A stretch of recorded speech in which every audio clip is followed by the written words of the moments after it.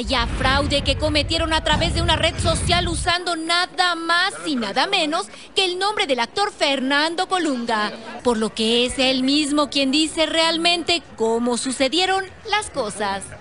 Fíjate que no tengo ninguna red social, no estoy inscrito en ninguna red social. Se los digo porque ya por ahí alguien hizo negocio diciendo que sí, que estaba yo eh, colectando dinero para ayudar y bueno, pues ahí les hicieron una pequeña maldad en Facebook a mucha gente. Obviamente, pero no, yo no estoy en ninguna red social. Tremendo lío en el que involucraron al actor, quien además aclaró si está dispuesto a denunciar ante las autoridades.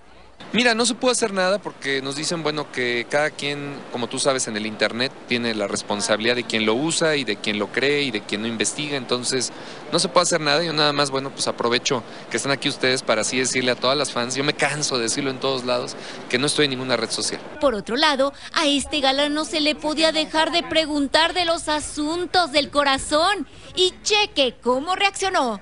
Mucho, mucho de la carrera, mucho de todo y que un tiempecito para el amor, ¿no? Esa era la pregunta que no podía faltar, a la que ya sabe que no voy a contestar, pero no podía faltar. ¿Por qué no contestar? Oye, las fans quieren saber. Las fans no quieren saber. Las fans están preocupadas por la carrera.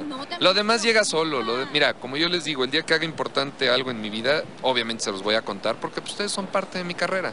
Vestido muy formal y con una sonrisa que derrite, fue como lo captamos en el aeropuerto de la Ciudad de México. Y con estas imágenes regresamos a los estudios.